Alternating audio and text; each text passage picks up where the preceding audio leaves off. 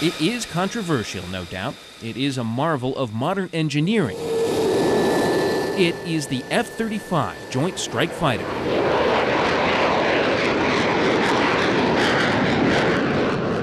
The way I look at the F 35, it is an evolution in technology. Colonel Andrew Toth is one of the pilots who's been flying the F 35 for several months at Eglin Air Force Base in Florida. Just the few sorties that I've flown in it, uh, the capabilities with the radar itself, and the capabilities to do mapping of the ground and to target things, uh, and for where this system is and its immaturity and the newness of it, got a long way to go, but it is still head and shoulders above anything that we have today. So far, here at Eglin Air Force Base, they have 22 F 35s that have totaled more than 500 flights since this spring alone. And all those tests have some of the military raving about the jets, saying it's the next phase of their defense of the nation. It's harvesting all the knowledge we've gained since F 117, B 2, all those first attempts at low observable stealthy airplanes. Well, we learned a lot of lessons in that. We learned a lot of lessons in how to build them. We learned a lot of lessons in how to operate them. We learned a lot of lessons in how to maintain them. Marine Colonel Tomassetti has been working on the F 35s since the design phase. He adds that the plane is designed to keep the pilot well informed during the chaos of battle. The ability for the airplane to see things out in the battle space and take what it sees and present that information to the pilot Uh, in what we call sensor fusion. The plane's computers use radar, infrared, and a vast array of sensors and electronics to present information to the pilot right inside the helmet. On this helmet, you have two projectors that will project the image right in front of your eyes. That will show data and graphics as well as imaging from cameras around the plane, virtually allowing the pilot to look through the aircraft, previously unheard of. More information provided in a clear way can help the pilot quickly understand what is happening with enemies and friendlies in the air and on the ground. And F 35s can share information with each other, as well as satellites and ground forces, to get a better picture of the battlefield. It can connect all those nodes. And that's, that's the key, is it, it can be part of that network uh, out there in the battlefield tomorrow. It rattled my house enough that uh, marble tile fell off of my fireplace. Kay Hamilton lives in the shadow of the F 35 testing grounds in Florida. So does Robert Webb. I can tell when they take off. Both are sure this new plane is plenty loud. It has the largest engine ever put in a fighter aircraft. Webb runs a sound and multimedia company now, but used to work as an engineer at Eglin Air Force Base where the planes are being tested. He likes the F 35, but isn't a big fan of the noise it makes. When the new plane made its first appearance in Florida, he tells us he broke out some of his sound equipment and headed down to the runway at the base. First, he plays us a recording of the F 35 landing. His peak reading 105 decibels. It's going to be considerably louder than uh, the F 16s. Webb was still recording when an F 16, similar to what the Vermont Guard flies, landed moments later. That F 16 topped out at 97 decibels. Webb says that 8 decibel difference means a lot to the human ear. Twice as loud. We also wanted to get a sense of how loud the plane is, so we rented a sound meter. Admittedly, this is not a scientific test. There are a ton of variables here, and I'm no scientist. And here's a big difference we measured takeoffs of planes, which are louder than landings because the planes use so much power to get airborne. Still, here are the numbers we got from our test when we were on the runway in Florida. As a pair of F 35s took off, 109 decibels for the first and 104 decibels for the second.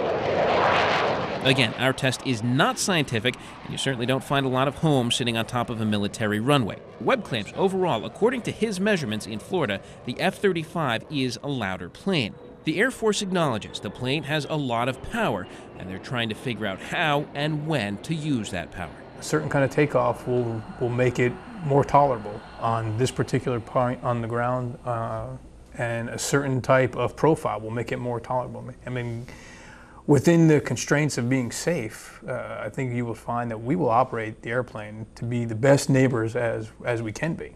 Um, but we need some time to figure out what that is as well.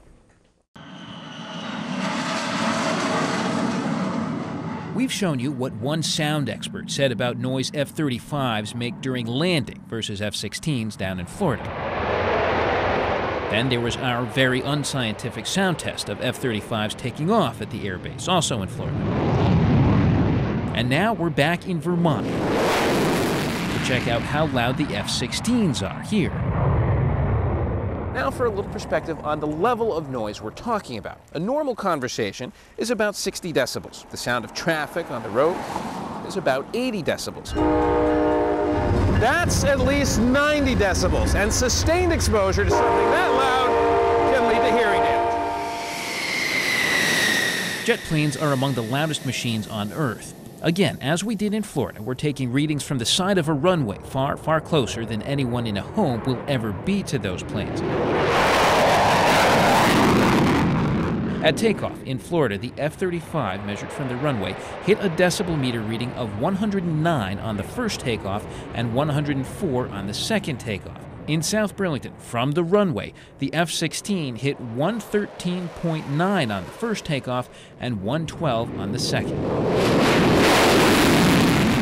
Again, let's be clear our tests are not scientific, conditions are different, locations are different, and there are a lot of variables. Still, if studies predict the F 35 to be louder, what gives with our test? And the F 16 right now, with the configurations that we're flying, we're pretty much in full AB. Now we cancel it as soon as we can. AB stands for afterburner, a flood of juice to the jet engine that lets it go very fast, very quickly. The F 16s need the afterburner in Burlington. We don't know what the F 35's afterburner sounds like. Folks with the Air Force Florida say the F 35, with its bigger, better engine, doesn't need to use the afterburner. The Vermont Guard makes the same case here. I'm confident, I mean, it's a fact that we're going to be able to climb out of here in, in, in a lower power setting. So far, we've been talking about takeoff, but what about in midair? Sound engineer Bob Webb, who lives in Valparaiso, where the F 35s are being tested, says according to his measurements, the F 35 can make a racket. First F-35 uh, came over at, and I measured 74 dB. The second one came over and it was 84 dB. So obviously he was putting a little bit more throttle to it to try to maybe catch up to the first one. Which he says emphasizes the importance of power settings. Looks like it can be 810 dB, which is doubling of the sound pressure level. The Vermont National Guard says it will do everything it can to mitigate sound impacts on the community, whether it's when the planes go up, Power settings on takeoff, climb angles on takeoff, flight departures, or come down. because we're part of the local community. We are, you know, their guard, and uh, we want to be good neighbors. Will probably leave because this is so unacceptable. Eileen Andreoli lives in Winooski. She's worried that the F 35s will be louder than the planes already flying overhead. Loud enough to change her neighborhood. People are fighting for their homes, and that puts it on a whole different level. One level that gets a lot of attention is 65 decibels. That's an FAA benchmark on noise levels near an airport. 65 decibels is also about the same level as a conversation between two people. The draft environmental impact statement predicts the F 35s will be 17 decibels louder than the F 16s on takeoff. That would mean nearly a thousand more homes would experience an average sound level of at least 65 decibels. A lot of the homes affected by the new noise footprint are in Winooski, and if the Guard gets six additional jets, the total number goes up to about 1,300. The increase in the decibel levels will cause our homes to be considered unsuitable for residential use. She cites page C14 of the DEIS, which states that areas exposed to a day night average level above 65 decibels are generally not considered suitable for residential use.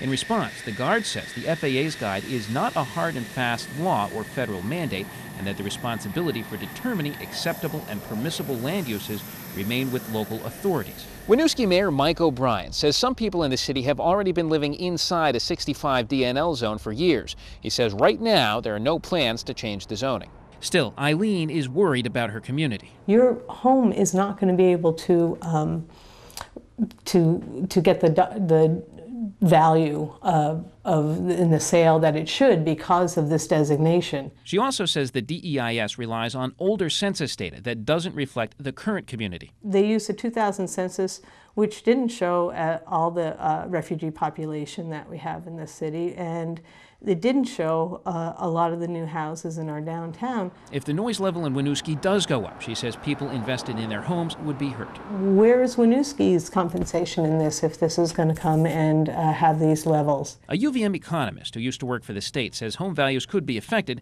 but it's hard to know how much. The value of your house is based in part on the fact that you're in a flight path. If now there's more planes or noisier planes or some combination, well, that's going to make it a little bit worse. I've lived here all my life. I've lived under F4s and 102s a lot louder. Realtor Ernie Pomerleau, speaking with a group that supports the F 35, says if home values can survive that, they'll survive the F 35. We're trying to show the massive support for this and the fact that it's really good for our region. Supporters circulated a petition that garnered more than 10,700 signatures. Opponents question how many of those people who signed the petition actually live in affected areas. And if they can't agree on something as simple as a petition count, you can imagine the disagreement over what happens if the F 35s don't come here. There's been nothing said officially by anyone that, that this base would close. It's had seven or eight missions over the years. No one has approached me about any option other than flying the F-35. Half of our jobs here are tied to the maintenance of an aircraft. If there's not an aircraft to maintain, then there's no reason for those jobs to exist.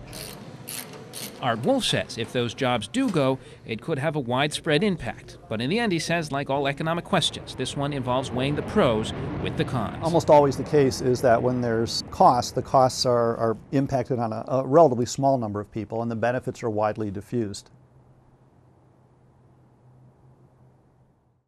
So how are y'all doing? Is everything okay for you today? Kay Hamilton runs the Compass Rose restaurant in Valparaiso, Florida. Hey, how you doing? She's also a city commissioner. She remembers when word started getting around about the F-35s coming to her town.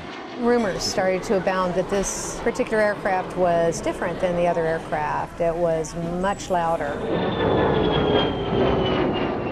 Based on data from the Air Force, if the F-35s at Eglin flew the way the Air Force originally proposed without restrictions, it would be too loud to live in hundreds of homes here in Valparaiso based on FAA standards. We would have lost 35% or so of, of our residential area. Uh, we, were, we were being told to make that area either pasture land or industrial uh, usage and it, it would just wreck the city. The city brought in Robert Webb, a sound engineer who used to work on base, in their fight with the Air Force. The city even filed a lawsuit against the military. What they got was a bigger fight on their hands as people in surrounding communities and in Valparaiso backed the base. We like to see it. You know, most of the residents, I think, like to see it and, and certainly support the military. I've noticed the planes and I, I like them. It's cool to see them fly around. I wouldn't hesitate to have the aircraft in my backyard. The Air Force did finally settle and agree to new flight patterns. They're not flying over us very much. And we very much appreciate that. We spoke with the mayor of Valparaiso, who said he did not want to stir up the pot anymore by going on camera, but did say he is still waiting to see what the full impact of the F 35s will be on his city. The next step for Valparaiso is to see what happens as the Air Force expands training and puts even more F 35s in the air. Need to be somehow held to flying what they've modeled, or, or it's been a waste of time, everybody's part.